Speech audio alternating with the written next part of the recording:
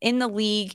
15 goals through 17 appearances for San Diego Wave. This was a player that just turned it on and never turned it off. This is a player that took everything that was being thrown at her and turned it all around and did have her best year in the NWSL this year.